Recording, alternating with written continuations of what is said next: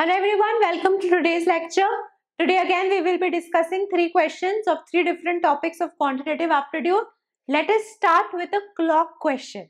So clock questions have been asked in GATE increasingly. I think last two times they have been asked. This is a very simple question of clocks, one of the most preliminary type of questions. So again, please pause the video, give it a good try and then you can cross check with the solution that we discussed, right? So the minor angle between the hour hand and minute hand of a clock was observed at 8.48 am. The minimum duration in minutes after 8.48 am when this angle increases by 50% is what? So what exactly is this uh, question asking us? The angle between the hour hand and minute hand at 8.48 has been given.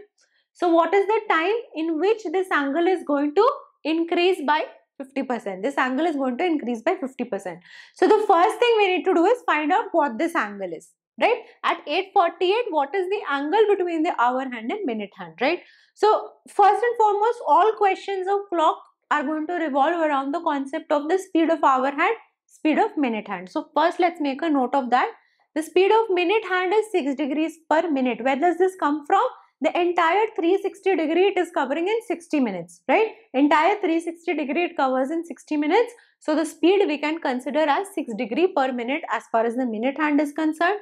As far as the hour hand is concerned it is going to cover only half a degree per minute. Again it covers only 30 degree in 60 minutes. So that is half degree per minute. So speed of minute hand is 6 degree per minute, speed of hour hand is half degree per minute. If you want to consider the relative speed, relative speed is going to be 5 and a half degrees per minute or this is nothing but 11 by 2 degree per minute, right? So this is something that you should know, you should remember even if you don't understand from where this came, just remember this because that's the fundamental of clock questions, right? Now let us see what is happening in this question. First and foremost, we need to find out the the angle at 8.48 am, right? So 8.48 would look something like this. This is the hour hand, of course. 8.48 means we're very close to 9. So this is going to be really close to 9. And 48 means somewhere near 10, right? So how do we find out this angle?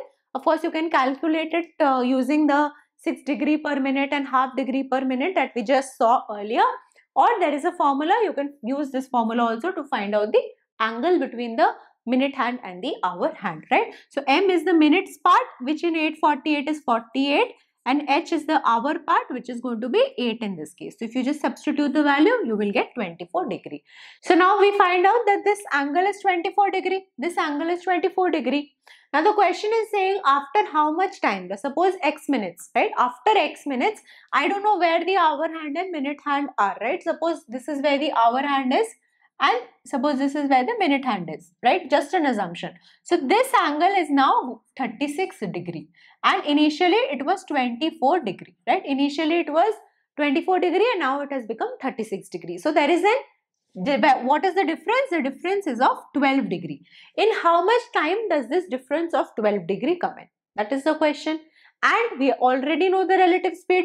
We just saw the relative speed, right? We discussed the relative speed. It is 11 by 2. So can we not apply the concept of speed here? Can we not apply the concept of relative speed here? Where relative speed is going to be nothing but the difference divided by the time. And using that, you can find out the time. It is going to be simply the difference is 12 and uh, the time suppose is t and the speed we saw is 11 by 2. So if I simplify this, I will be getting t as 24 by 11. t as 24 by 11. Mm-hmm. So this is how we can solve this question. We can relate the concept of relative speed in clock questions because clock is nothing but two bodies, right, moving in the same direction. So you can apply the concept of relative speed. Now let's look at a question of algebra using logarithmic concepts, concepts of logarithm. So you have x and y as positive real numbers such that log with the base x of x square plus 12 equal to 4 and 3 into log with the base y of x is equal to 1. So what is x plus y? The options are 11, 10, 68 and 20. Right? So pause the video, give it a try. It's an easy question where we are looking at the fundamental concepts of logarithm. Right? Easy formula of logarithm. So the first expression given to me is this log of x square plus 12 where the base is x equal to 4. So what does this mean? This means that x raised to the power 4 is x square plus 12. If I bring this x square here, I will get x raised to the power 4 minus x square is equal to 12. x square taking common, x square multiplied with x square minus 1 is equal to 12, right? x square into x square minus 1 is equal to 12. So just think about what are the possible values that x square can take. We can write 12 as a product of two numbers. What it can be 1 into 12, it can be 2 into 6, it can be 3 into 4, right? That's all. So can we have uh, 12 as a square? No. Can we have 2 or 6 as a square? No. So 3 and 4 are the options possible because this can be 2 square and this can be 2 square minus 1, right? So clearly x square is going to be 4 and x square minus 1 is a 3. If x square is 4 then x can be either plus 2 or minus 2 but in the question we have been given that x and y are positive real numbers so the value of x equal to minus 2 is not going to be considered and we have x equal to 2. So this is what we have found out x is equal to 2 from the first expression. Now the next expression tells us log of x base is y multiplied with a 3 is 1 right. So this means log of x base y is 1 by 3 again y raised to the power 1 by 3 is going to be x and we know what x is. x we just found out is a 2. So y is going to be nothing but x cube that is 2 cube that is equal to 8. That's all. So x plus y is going to be 2 plus 8 is equal to 10. So that's all there is in this question. Easy question of the most basic uh, rule of log, right? What exactly is the logarithmic function? That's what we are seeing in this question.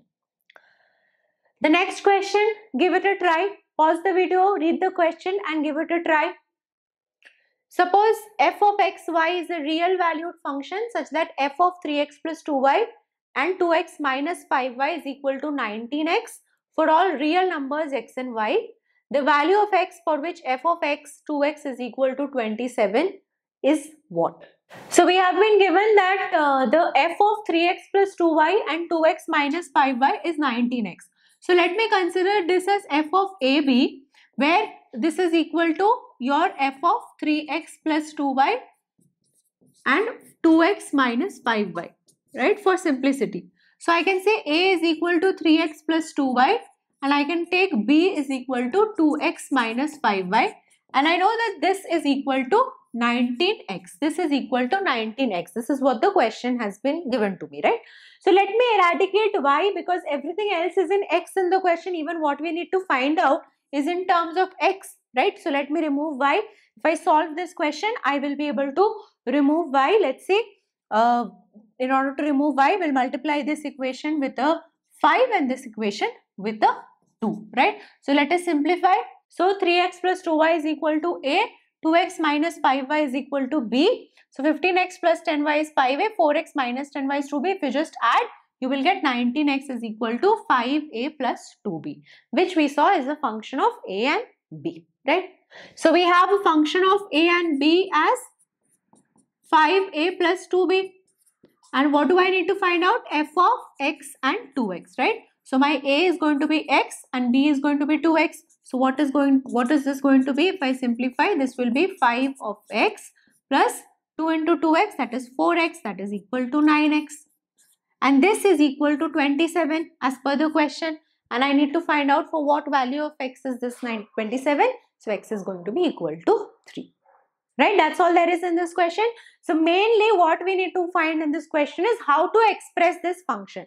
How to express this function because if you look at the question initially, there is a lot of like f of 3x plus 2y, 2x minus 5y, 19x, x, 2x, lot of things are there. So we need to simplify it. We need to simplify and then see what is the function and how we can eradicate the variable y so as to ultimately arrive at the value of x. So the required answer is going to be